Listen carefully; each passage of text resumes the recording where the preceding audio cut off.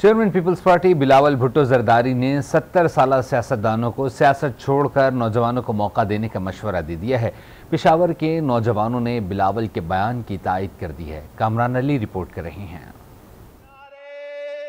Peoples party के chairman Bilawal Bhutto Zardari ने बुज़ुर्ग सियासतदानों को आराम और नौजवानों को सियासत में मौका देने का मशवरा दिया है।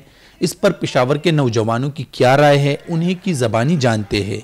नौजवानों को आगे आगे आने चाहिए, लेकिन वो पढ़े लिखे होने चाहिए। अब नौजवान होंगे और तालीम नहीं होंगे तो वो कतियन वो गलत फैसले करेंगे।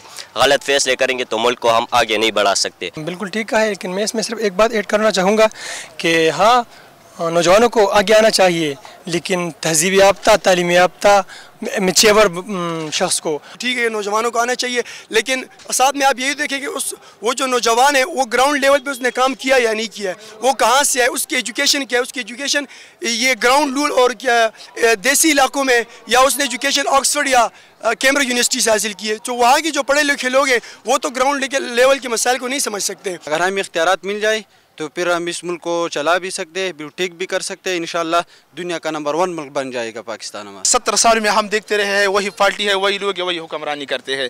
और मेरे ख्याल से नौजवान का ये मकसद नहीं किसी पर पीपल पार्टी वाली है। मेरे ख्याल से तमाम पाकिस्तानियों के यही दरख्वास्त है उनकी कि अपने फैसला खुद करे।